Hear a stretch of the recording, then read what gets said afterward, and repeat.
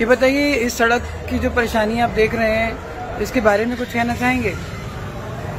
ये परेशानी तो बहुत मतलब बहुत ज़्यादा है। कई बार यहाँ पे रिक्शा पलट जाते हैं और चलते हुए बच्चों को चोट लग जाती है, फिसल जाते हैं, गड्ढों में गिर जाते हैं। और फिर दूसरा क्या कहते हैं यहाँ पे, कई बार लेडीज़ गिर गई। और फिर इससे बहुत ज़्यादा काम को बहुत ज़्यादा फ़र्क पड़ गया पहले पे कोई पैदल आने नहीं चाहता है यहाँ पे। रिक्शा वाले नहीं जाते अगर आगे को रिक्शा से कहने लोग थोड़ा सा कम दे दो काफ़ी प्रॉब्लम है कहीं दिखते कीचड़ के गड्ढों से। तो आप लोग आवाज़ क्यों नहीं उठाते हो?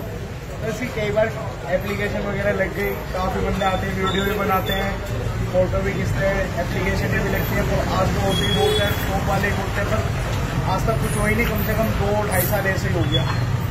कभी कोई रास्ता मिल रहा था कभी कोई और फिर उसके बाद में इतनी कीचड़ और रिक्शा वाले घर को जाता ही नहीं।